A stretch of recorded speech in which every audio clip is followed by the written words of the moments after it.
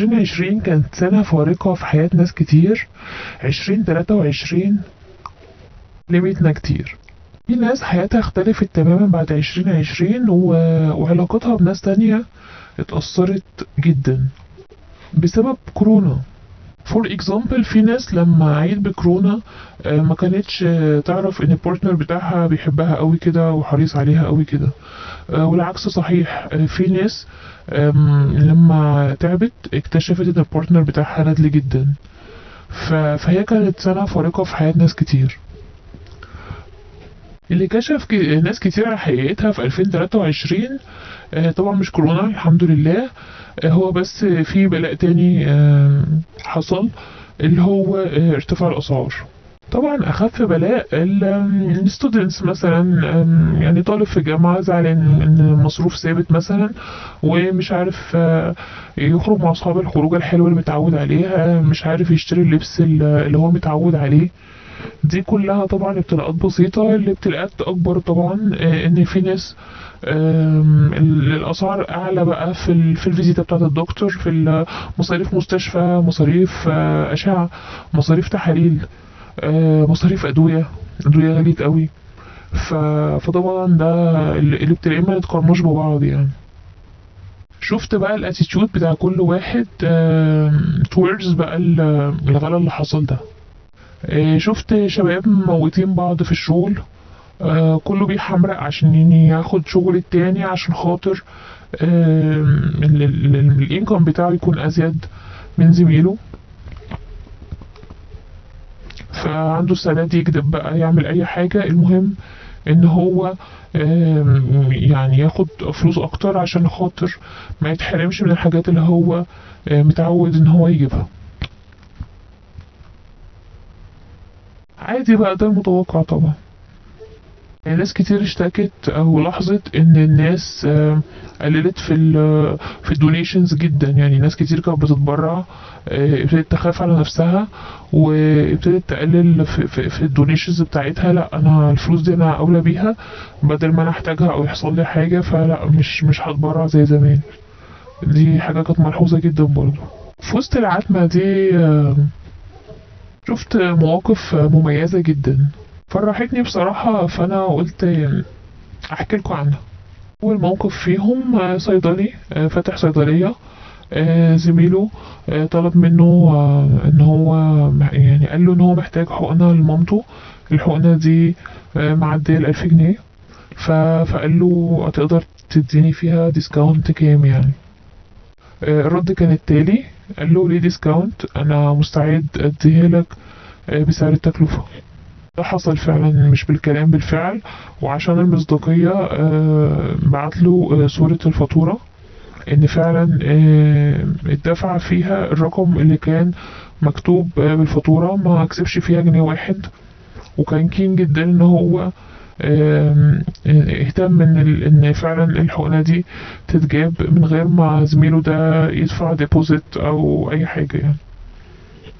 حلو إن في عز الغلا ده والناس كلها بتاكل في بعض تلاقي واحد مش فارق له إن هو يكسب في في product يعني مش فارق له المكسب خالص و... وفعلا هو جامل صاحبه وساعده ومرضيش ياخد منه أي مكسب. وحتى لو كان اداله الحقنة ب discount برضه كان هيبقى كتر ألف خيره برضه ومساعدة لطيفة منه بس لا هو قال لا مش هكسب خالص وأنا آه، اساعد اللي قدامي فعلا على تحمل المصاريف التانية اللي ورايا. تاني موقف آه، جميل حصل. آه، بواب آه، صغير في السن آه، طلع آه، راجل آه، كبير آه، سنده آه، ست ادوار آه، ولما آه، أهل الراجل ده آه، ادوله فلوس تمن تعبه طبعا آه، يعني طلوع ست ادوار صعب. آه، على السلم من غير أسانسير يعني. وتسنيده صعبة فيها مجهود عالي قوي يعني مجهود بدني عالي. آه، رفض بشدة وقال لأ يعني أنا مش هاخد فلوس على حاجة زي كده. والله أنا ممكن أغسل عربية أمسح عربية أنفخ كاوتش أغير عجلة. لكن دي حاجات ممكن آخد فيها فلوس وفلوس مناسبة لل effort يعني اللي هو عمله كده. لكن أنا مش مش هاخد في حركة زي دي. فلوس وقال لهم اعفوني وفعلا رفض ياخد فلوس برضه في عز الغلا اللي إحنا فيه ده. إيه تالت موقف كان من dentist آه رفض آه ياخد فلوس على إن هو لزق crown ال patient وهو كان يعني ال probability إن إن اللزق ده يستمر قليلة يعني كان مع أي حركة بسيطة كان ممكن إيه اللزق ده يفك يعني. فهو يعني صعب عليه ان ممكن الشخص فعلا يدفع تمن اللزقة النهاردة و... ويفك اللزق بكرة لأن ال option التاني بتاعت إن هو يعمل crown جديد يعني كان ال patient مش مش حي مش قادر على تمنه يعني ف... فقال أصلا الدنيا يعني. ف... فعشان خاطر الدنيا متلصمة وكده ومش مش دايمة فال dentist ده رفض ياخد فلوس يعني. لو مجرد خوف إن أنا يعني مش هاخد تمن حاجة ممكن الشخص بكرة فعلا تقع منه مش هيستفيد منها بحاجة. يعني فما حبش يخسره مع إن أنا شايفة إن طبعا ال dentist ال procedure نفسها مرهقة جدا وفعلا تعبه ده ومجهوده ما يتقدرش بتمن. غير كده ال materials بتاعت الأسنان أنا عارفة إن هي غالية جدا. ف... فهو فعلا ظلم نفسه في. في الحركة دي بس كانت لفتة لطيفة جدا منه برضه إن هو بيحس بغيره. رابع موقف كان من دكتور بطنة استشاري بطنة متعود إن هو يزور patient في البيت. فابنه ابتدى يقول له يا دكتور يا بابا تعبان ضغطه مش متظبط كده تعالى يعني عشان محتاجينك وكده. فطبعا عشان خاطر هو يخفف الحمل من على العيلة دي كان بيحاول يقول له طيب ليه هو الضغط كام؟ طب يعني قصدي كان بيحاول يوجد حلول ويحل المشكلة هو شايف الموضوع بسيط بس الأهالي ال... أهل البيشنت نفسهم بيبقوا متوترين وخايفين زي عن اللزوم فكان بيحاول يبسط لهم الأمور يحاول يقول لهم طب خلاص اعملوا التحاليل دي وروني طيب طب قيسوا بس الضغط كل شوية واصبروا عليه. يعني كان بيحاول على قد ما يقدر إن هو لما يطلبوا في البيت يتمنع عشان ما يحملهمش فوق طاقتهم ماديا برضو. وبرضو ما غلاش الفيزيتا بتاعته برغم ان الناس كلها فعلا غلت الناس دي بجد إيه فعلا؟ يعني الناس دي اللي مش خايفة مش خايفة من الفقر. الناس دي مش خايفة على نفسها. الناس دي مش خايفة تحتاج لحاجة ما تلاقيش تمنها. هي إزاي الناس دي بالبرود ده؟ عارفين يا جماعة آه الدكتور ده كان كل ما يتمنع أكتر إن هو ما يروحش الزيارة دي. كان أهل ال patient يعني مصممين أكتر إن هو يروح عشان خاطر يطمنهم ففي الآخر فعلا آه اضطر يخضع بقى ويروح فعلا الزيارة دي ويطمنهم وده الموقف ده علمني حاجة إن مهما أنت حاولت تهرب من من رزقك رزقك هو اللي بيطاردك رزقك هو اللي بيجري وراك غصب عن عن عين أي حد. ربنا كاتب لك رزق في حاجة غصب عنك وعنهم هيحتاجوا لك. هيحتاجوا لمساعدتك هيحتاجوا لشغلك.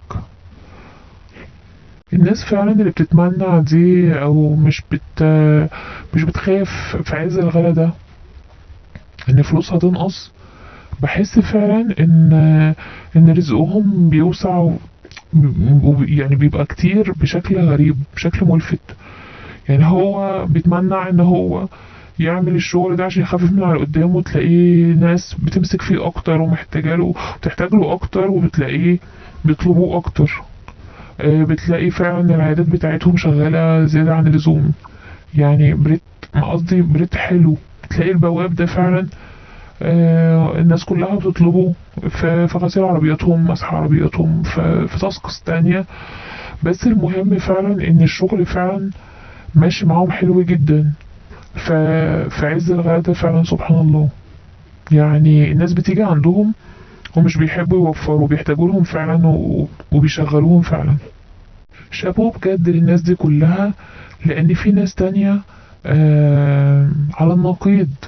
آه كانت متوحشة جدا وبتدي نفسها اكسكيوز عشان تريح ضميرها إن هم مضطرين يتعاملوا بالقسوة دي. عشان خاطر إن, هم خايفين ما يعرفوش يسدوا الالتزامات اللي عليهم. فيعني بيحاولوا يريحوا ضميرهم. فبيدوا نفسهم الاكسكيوز ده مع الدنيا غالية فأنا لازم أستغل اللي قدامي على قد ما أقدر وأمال يعني يعني هبقى محتاج حاجة يعني ومعيش تمنها. يعني هعمل إيه يعني؟ فيا رب إن إحنا نكون من الناس اللي الاختبار بتاع الغلا ده